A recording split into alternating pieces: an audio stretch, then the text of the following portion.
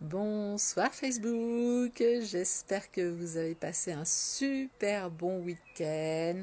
Je vous souhaite à toutes et tous beaucoup, beaucoup, beaucoup de bonheur en ce premier, en ce 1er mai. Et surtout, beaucoup de bonheur pour toute l'année. Donc je laisse euh, Facebook vous notifier que je suis en live, Marie-Christine Eustache, pour le huitième jour de live sur ce défi de 30 jours que je me suis lancé. Et donc ce soir, je vais vous partager. Bonsoir, je vois qu'il y a un petit œil qui arrive. N'hésitez pas à me faire un coucou. Bonsoir Bertrand. N'hésitez pas à me faire un coucou, à faire hashtag replay si vous voyez le live euh, en différé un peu plus tard. Alors, ce week-end, eh ben, j'étais au bord de la mer. Et qu'est-ce que j'ai cultivé? Eh bien, le bonheur d'être au bord de la mer et de faire quelque chose dont j'avais entendu parler depuis des années. Ça s'appelle de ramasser des couteaux sur la plage. Je ne sais pas si vous connaissez ce petit crustacé. Euh, moi, j'en avais entendu parler depuis très très longtemps. Je vous ai mis une photo, euh, vous pouvez la voir euh, sur le profil. J'ai fait une publication avec la pêche du jour d'hier. Euh, donc les couteaux, c'est un petit crustacé qui vit dans le sable. Je vais vous mettre la vidéo parce que c'est assez, assez étrange quand même comment on les, on les récupère. Il faut mettre un peu de, un peu de sel sur, sur, le, sur la plage. Alors à certains endroits, hein, c'est sur des bancs de sable à la marée descendante. Et il faut bien repérer en fait la forme des petits trous. Alors ça, je ne vous l'ai pas prise en photo. Il faut apprendre avec, avec quelqu'un qui connaît. Donc là, on était avec des amis agents qui, qui en pêchent très très régulièrement.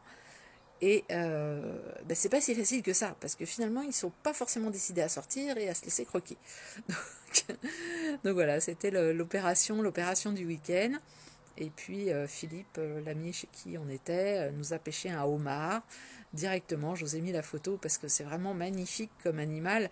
Il a une couleur bleue, hein, une espèce de bleu turquoise, superbe, magnifique. Et voilà, après, on l'a fait cuire, on l'a dégusté, c'est super bon. Désolé pour les véganes, si on est qui regarde, eh, pas de bol, je ne suis pas végane.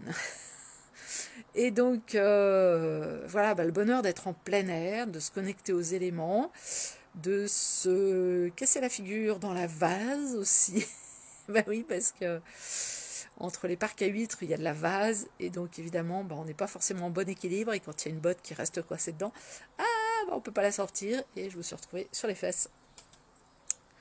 Euh, les fesses par terre, dans la vase, et puis voilà.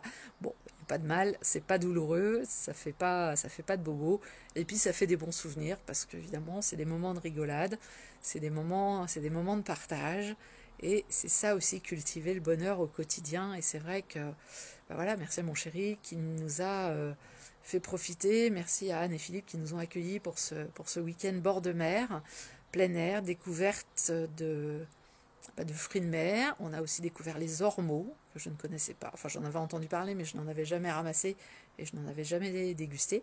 Donc, on a pu faire ça aussi. Et c'est vrai que c'est bonheur de se, de se comment de, cultiver le bonheur au quotidien sur des choses très simples, sur euh, voilà des découvertes, euh, des découvertes d'endroits qui étaient juste magnifiques. Euh, c'était donc pas très loin de l'île de Bréa. Donc les paysages sont sublimes, l'eau est transparente, pas chaude par contre, hein, donc on ne s'est pas baigné. Et c'est vraiment, c'est très très beau, les paysages en plus changent du tout au tout entre la marée basse et la marée haute. Et donc c'est ça, de cultiver le bonheur au début, ce que j'ai fait, c'est vraiment de profiter de ces moments-là, ces moments qui sont complètement offert par la nature, il suffit juste de regarder. Et vous pouvez d'ailleurs regarder derrière moi, voilà, il y a le, le rhodo, on va s'approcher, qui est en train de fleurir. Voilà, ah, les, fleurs commencent à, les fleurs commencent à passer. Et voilà, juste de regarder, euh, regarder la, la délicatesse d'une fleur, comment c'est fait, etc. Enfin voilà, c'est ça, cultiver le bonheur au quotidien. Et puis après, eh ben, on le fait avec, euh, avec d'autres personnes, avec euh, dans d'autres environnements, etc. Et plus on le cultive, qu'est-ce qui se passe? Plus on cultive le bonheur, plus on cultive la gratitude, moins on sème des graines de merdouille, de critiques, euh, de tout plein de choses comme ça. Et donc au fur et à mesure, eh bien, notre jardin émotionnel, il devient propre. en tout cas, avec beaucoup moins de bazar. Alors de temps en temps, on a un vieux truc qui ressort comme ça, on ne sait pas où, une ronce qui pousse à toute vitesse et on se prend, euh, voilà, euh, un état émotionnel que l'on n'attendait pas, ou on se prend dans la figure un événement que l'on n'attendait pas, mais on peut le gérer comme ça. Bonsoir Alix, j'espère que tu vas bien, que tu as passé un bon dimanche, un bon week-end. Donc c'est important de cultiver cette, euh, cette gratitude, ce bonheur au quotidien pour vivre de façon beaucoup plus paisible tous les jours. c'est vrai que je me suis rappelé ce week-end de, moments où euh, bah, j'ai vraiment eu des tonnes et des tonnes et des tonnes de galères à gérer. Et finalement, j'étais contente d'avoir des galères et de les surmonter. Et je me disais, yes, encore une de fait, et c'est bon. Je continuais à avancer comme ça. C'était une espèce de masochisme. Mais voilà, je ne savais pas à l'époque qu'il y avait autre chose. Et au fur et à mesure que j'ai découvert qu'il était important de cultiver le bonheur, de cultiver la gratitude, et de semer des graines de gratitude au fur et à mesure, comme là je vous le partage, ce bonheur de week-end au bord de la mer, pêcher nos premiers couteaux.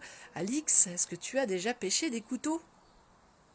Oui, les couteaux, les petits crustacés que l'on trouve dans le sable et qui sont assez rigolos à, attraper parce que ils sortent comme ça dans le sable tout d'un coup et hop, il faut les attraper. Il ne faut pas attraper le bout, il faut attendre de sortir la coque. Parce que si on attrape juste la tête, ça fait comme la queue du lézard, il la coupe et il, se renferme. Il, replonge dans le sable et c'est fini, on ne l'attrape plus.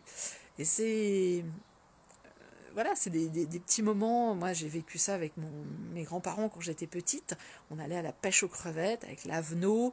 On emmenait, euh, mes grands-parents étaient très organisés, le camping-gaz, euh, tout, même la maillot, tout, tout suivait. Et bah, c'était des plaisirs aussi de, de faire cuire les étrilles, c'est des petits crabes euh, de couleur rouge que l'on trouve aussi, qui sont très bons, des étrilles, ou de faire cuire les crevettes là directement sur la plage et de les manger comme ça. Voilà, c'est juste euh, des choses très très simples. Et quand on cultive ça au fur et à mesure, eh bien on peut cultiver après des bonheurs de plus en plus grands. Et c'est ça qui est génial. Voilà, donc c'était ce que je souhaitais vous partager aujourd'hui. Et donc je vais vous voilà, je vous ai mis quelques photos, allez admirer la belle couleur bleue de ce homard, c'est vrai que c'est une couleur qui est juste magnifique. Et puis bah au plaisir de vous retrouver demain soir pour le live avec un autre sujet, je ne sais pas lequel, on verra bien. Il n'y a pas de a pas de programme prédéfini. Je vous souhaite une excellente soirée avec mon chéri. On va aller euh, se prendre une grosse grosse douche, shampoing et tout, une soupe de légumes. Parce que là, ce week-end, on a un petit peu abusé quand même. On était en Bretagne, hein, euh, donc euh, du beurre, un peu de beurre et encore du beurre. Donc là, on va aller euh, faire un peu de rééquilibrage et manger des légumes ce soir. Bonne soirée à tout le monde et à très bientôt. Continuez de cultiver le bonheur.